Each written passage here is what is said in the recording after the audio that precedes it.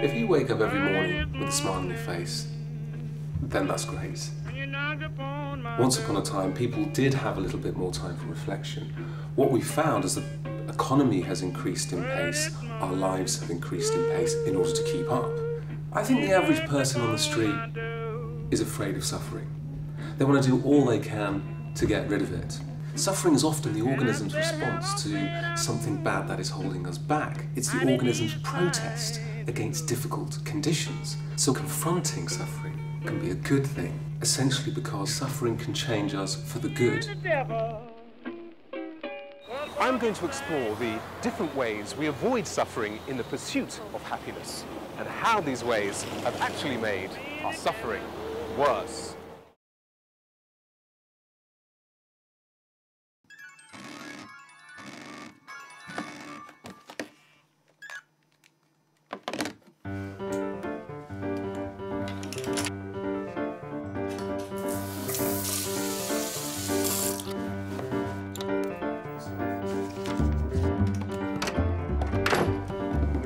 Frenetic activity is a peculiarity of our time.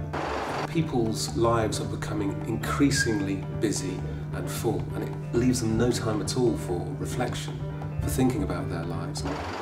People think it's a good thing to keep yourself busy during a time of crisis. In actual fact, it's a very bad thing. It's perhaps the worst thing you can do.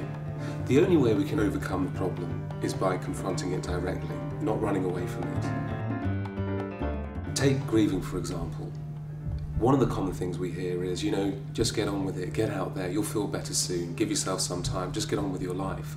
But this actually ignores the fact that going through the grieving process is essential to letting go. If you don't mourn, you stay attached and you can't move on. Look, we, we tend to think being busy is innately virtuous. You know, we're economically rewarded for being busy. But it puts us under a huge amount of strain.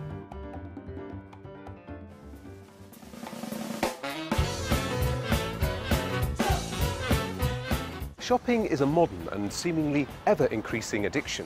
It has become the bedrock of family life in Britain, fulfilling an incredible range of roles to make us more attractive, to demonstrate our success, to fill an empty Sunday, and to make us more happy. Usually, this feeling better lasts for a short time.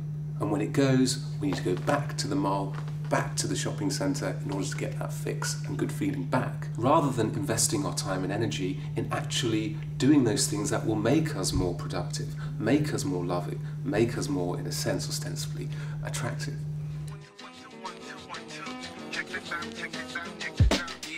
Recently, we've been fixated with the demise of Jade Goody. We've also been interested in how she used the media. Some people say it was out of greed, some people say it was out of a desire for attention, others have said that it was to help her children. But I'm more interested in how we use Jade Goody to help ourselves. So this is strange, isn't it, in a culture where people sort of often try run away from their suffering, but at the same time, they like to watch suffering, view other people going through it. Mm. But I don't think it's not in a horrible way, I mm. suppose. It's mm. just more just like, it, like sort of fascination, I suppose. How's she coping with it all? How are the kids coping with it all? Do you think they also felt that she served a kind of role model for them?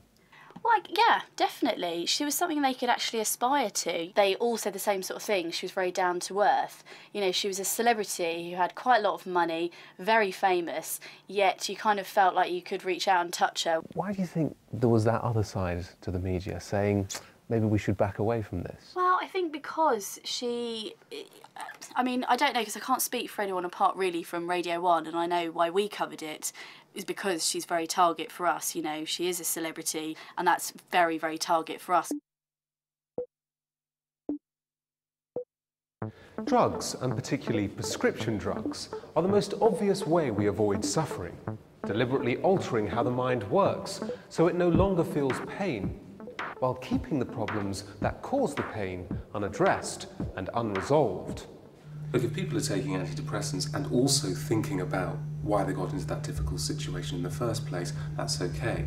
But if people are actually taking antidepressants to not think about those things, to avoid the suffering and the thoughtfulness, then they become all the more problematic. As a psychotherapist in the NHS, I have seen firsthand how patients who've been using antidepressants for long periods are far more inclined to believe that it is their brains causing their problems and not their psychology, their environment, or their lifestyle.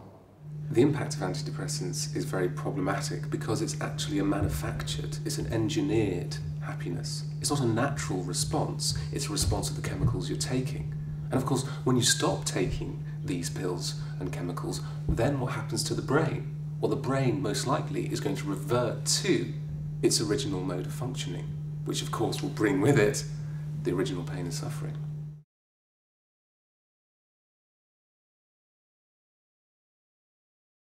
Well, I'd like to explore what happens when we remove these props and these distractions and when we actually confront suffering head on.